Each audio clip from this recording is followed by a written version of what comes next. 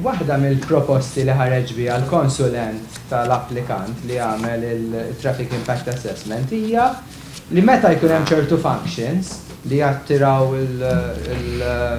il-volum tan-nies, jista' jintuża l-park and ride, mhux li jingħata l-park and ride. Ċertu functions dan supermarket qed ngħidu, għax ċertu. Supermarket hemm catering, kitchen u. Hemm xi reception hall ukoll fiha.